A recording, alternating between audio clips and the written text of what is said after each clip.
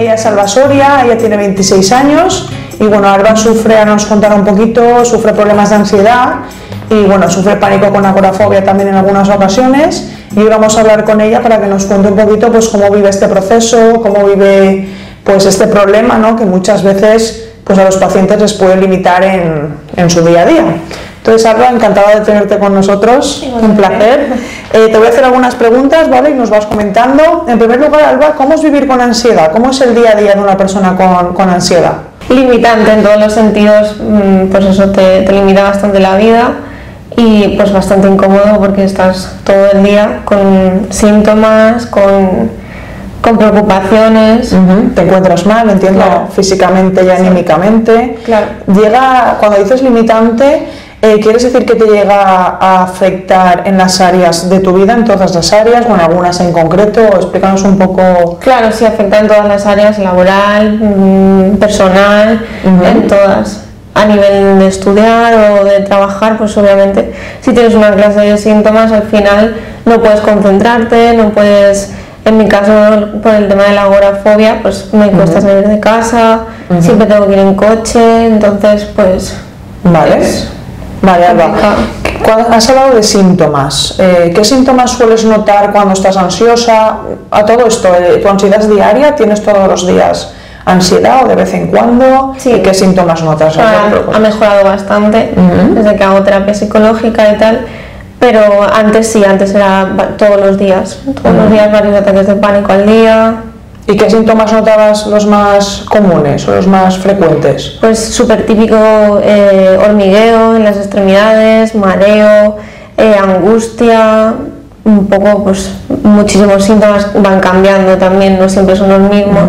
Palpitaciones, También taquicardia. taquicardia, sensación de ahogo, Vale, vale. Eh, ¿Desde cuándo tienes este problema, Alba? ¿Desde cuándo, bueno, este problema, esta ansiedad, desde cuándo siempre has sido una persona ansiosa o hace, desde, hace unos años eh, te encuentras peor? Cuéntanos un poco desde cuándo. Pues la ansiedad yo creo que prácticamente desde que era pequeña, de hecho creo que mi primer ataque de pánico ahora lo sé identificar, en ese momento obviamente no sabía, pero mi primer ataque de pánico creo que fue con 8 años, una cosa así, y pues siempre he tenido como alguno esporádico, siempre he sido ansiosa, pero la agorafobia y tal es como de hace 7 años o así para acá. ¿Y cómo te diste cuenta de que, o sea, qué, qué ocurrió para que dejara de ser ataques aislados, como te pasó a los 8 años, para convertirse ya en ataques eh, más frecuentes y ya decir, ostras, tengo un problema, esto ya no es de vez en cuando, ¿no? Esto es... eh, ¿Cómo detectas que es hace 7 años? ¿Qué pasa hace 7 años?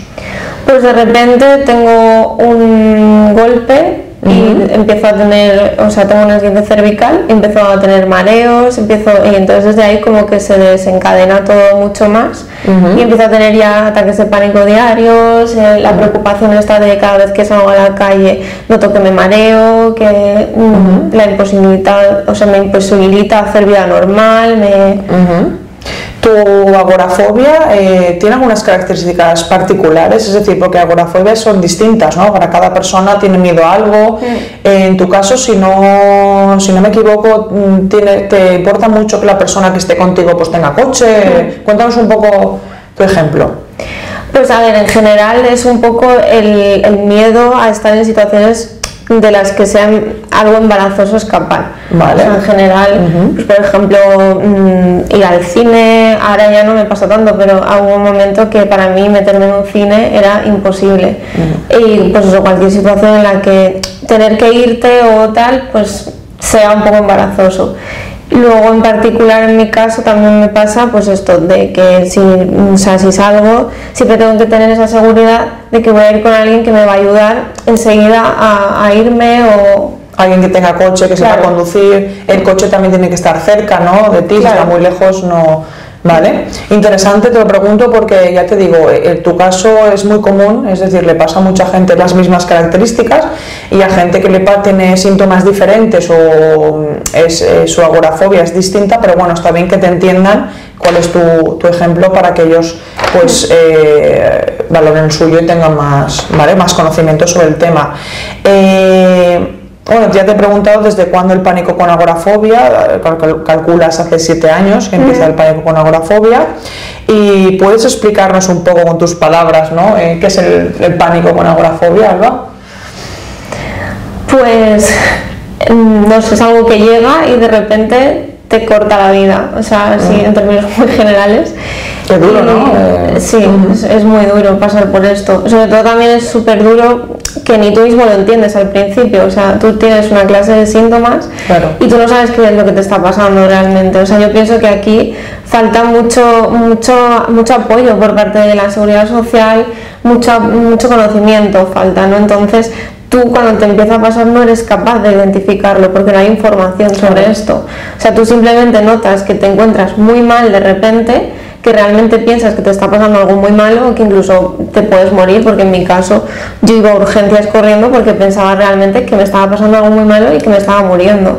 O sea, sentir eso diariamente es muy duro. muy duro. Es muy duro. Claro, lo que tú dices, ¿no? Tú en ese momento no tenías información, o sea, no podías decir, vale, me está pasando un ataque de pánico. Claro. Un ataque de ansiedad, Claro. no, no. También eras joven, pero aparte pues, eh, no habías leído sobre ello, no había mucha información, el médico no sé si te, en ese momento, eh, nada. No, Vale. hay mucho estigma sobre los trastornos mentales al final y pues eso cuando lo sufres te das cuenta, eres consciente de repente de lo poco que se habla de esto y de lo necesario que es porque si cuando tú empiezas a tener este tipo de problemas alguien te dice, oye no, es que a ti lo que te está pasando es esto, Claro. tienes que ponerte en manos de alguien que te ayude realmente, Claro. Pues todo se solucionaría mucho mejor. Lo hubieras agradecido, ¿no? Claro, en, en claro. tu momento. Muy bien, Alba. eh, en bueno, me has comentado un poco que te perjudican todas las áreas de tu vida. ¿Podrías espe- especificar un poquito más, por ejemplo, en el tema laboral, que es muy importante? Tú puedes trabajar en cualquier cosa, en cualquier sitio, eh, tienes unos límites en ese sentido. Claro, de momento sí sigo teniendo algunos límites. Sí que es verdad Que has mejorado. he mejorado muchísimo. Ahora, por ejemplo, estoy trabajando cuando hace un año no me lo plantearía. O sea, yo he trabajado también, pero siempre con una persona de confianza, tal, o sea, con limitaciones mucho más tangibles. Ahora es más relajado el tema, ahora está, está mejorando. Te limita también, por ejemplo, en el ocio, es decir, Claro. eh, para salir por ahí, entiendo que una discoteca, por ejemplo, No. no, no puedes a día de hoy, o igual a día de hoy sí porque estás mejor, pero aún te costaría un poco, ¿no? Sí. El tema de las aglomeraciones Claro, o, sí. o- Bueno, Alba, pero lo importante con lo que me quedo es con que has mejorado, ya nos explicarás un poco por qué has mejorado, ¿vale? Que creo que es lo que más importa ahora mismo. Eh, ¿Has pedido ayuda alguna vez? En este, este punto nos encontramos. ¿Has pedido ayuda alguna vez y qué tal te ha ido? ¿Has pedido ayuda psicológica? Eh, ¿Has llegado a pedir ayuda psiquiátrica? ¿Qué puede ser? Cuéntanos un poco. Pues mm, como hablábamos antes, en la seguridad social hay mucho estigma y en el momento que ya consiguen diagnosticarte de alguna forma, la única vía que te ofrecen rápida es psiquiatra. Psiquiatra significa medicación. Medicación. Todos lo sabemos. He pasado por etapas de medicación y no me, han ayudado, no me han ayudado para nada. O sea, lo único que han hecho es alargar el tiempo, el, el problema en el tiempo. Ya está. O sea, tranquilizantes, relajantes musculares, pero no solucionan el problema al final. Claro, la medicación muchas veces sirve pues eso para disminuir eh, en casos de otros de los síntomas ¿no? de- del problema, pero realmente muchas veces lo que hacen es disfrazar el problema más que solucionarlo, ¿no? Eh, ¿Pediste ayuda psicológica en algún momento? Sí, Eh, cuando me di cuenta de que eso no me estaba ayudando para nada, entonces empecé a buscar otras alternativas y empecé a hacer terapia psicológica. ujú. A día de hoy sigues yendo a, a terapia. Sí, Ujú. Te ha funcionado, ¿no? Podemos decir que esa Sí, terapia sí. Con, con ese psicólogo en concreto te ha, te ha funcionado. Perfecto. Eh, ¿Cuánto tiempo llevas eh, acudiendo a terapia o llevas en terapia? pues hará como cuatro años. O sea, de los siete que has- Sí. estás así peor, eh, llevas los últimos cuatro años eh, yendo. ¿Y has notado Pasa que he tenido épocas en las que sí que he ido, luego a lo mejor me lo he dejado, porque es duro, o sea, la terapia al final, la terapia de exposición, exponerse a la ansiedad y al pánico es bastante duro Claro. y anímicamente es verdad que a veces pues por situaciones no dices un poco, pues vale, necesito, parar, ¿no? necesito un descanso. un tiempo para... Pero lo importante es que lo que avances nunca lo retrocedas. Entonces, Exacto, exacto. Vale, Alba, eh, cuando tienes ese ataque de pánico, ese ataque de ansiedad, ¿vale? ¿Qué sueles hacer para salir de él? Eh, ¿Qué estrategias tienes? Aquí es importante que hablemos, si no lo comentas tú, lo comentaré yo, el tema de los escapes, ¿no? Eh, tú cuando tienes ese ataque, ¿qué sueles hacer? ¿Sueles hacer escapes? Comenta un poco lo que es. ¿O sueles asimilar la ansiedad y esperar a que baje? Pues antes siempre hacía escapes, obviamente. O iba corriendo al hospital o salía de la situación en la que estuviera y ya está que al final pues es o sea lo que te comentan siempre los psicólogos el escape no te ayuda o sea te ayuda en el momento ya de repente no tienes ansiedad pero a la larga lo único que hace es limitarte o sea va vetándote situaciones vetándote problemas. Pero o sea ahora por ejemplo lo que intento es quedarme en la situación, esperar, o sea, ya he asimilado que es ansiedad, que siempre sube y luego baja. Exacto. Hay situaciones en las que aún es difícil porque los síntomas son muy fuertes, eso está ahí, pero aún así pues intento respirar, intento concentrarme en, el tema de notar cómo la ansiedad va bajando, o sea, no hacer escapes, vamos, lo que intento es no huir. Claro, porque es lo que comentabas, que bueno, para los que nos estéis viendo y queráis saber un poco lo que ha comentado Alba de que la ansiedad, eh, si la dejas que no haga nada, pues ella sola baja, eso se llama un poco en psicología es la curva de la ansiedad, ¿no? El curva o pico de ansiedad, que lo que nos dice es que si tú en mitad de esa subida de ansiedad recurres a un escape, que es hacer algo que inmediatamente te baja la ansiedad, como Alba comentaba, de ir al hospital corriendo o llamar a un familiar para que te tranquilice o cualquier tipo de, ese tipo de cosas, eh, eso se llamaría escape, ¿vale? Porque a corto plazo sí que te beneficia porque te, te quita la ansiedad, te la vuelve a bajar a cero, pero a largo plazo es verdad que no, no dejas que tu cuerpo se acostumbre a que viva su proceso normal de ansiedad, ¿no? Entonces esta curva lo que nos dice es deja que tu ansiedad suba hasta el máximo y si que tú hagas nada, ella bajará por sí sola. Eso es lo que comentabas un poquito tú. Bueno, nada, pues como última pregunta, que se nos ha hecho muy corta la, entrevista, eh, importante, eh, ¿qué le dirías a alguien que está pasando por tu misma situación o que incluso que a día de hoy está peor que tú, porque aún no ha llegado al punto en el que tú estás, ¿qué le dirías para, animarla, para animarlo? Eh, ¿Qué consejo le, le darías?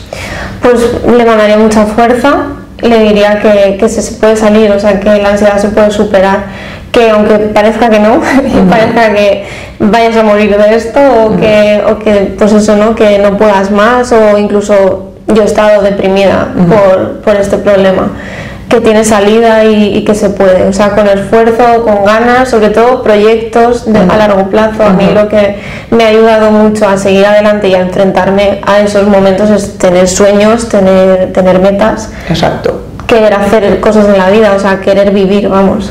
Claro, porque muchas veces has comentado la de depresión, muchas veces estos problemas van ligados a una depresión. La ansiedad y la depresión van muchas veces juntas.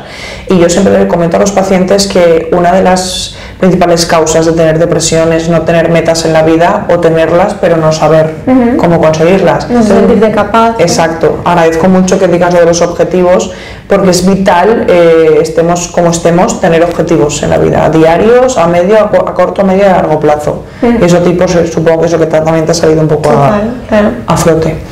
¿Algo más que quieras comentar, Alba, que, resulte, que creas que es muy importante? Eh, eh, sobre todo el tema de no dejarse, o sea, me parece súper importante no alargarlo en el tiempo. Si sabes identificar que tienes este problema, acude a buscar ayuda donde sea, porque lo importante es cuanto antes le pongas remedio, o sea, luego más fácil va a ser salir de esto.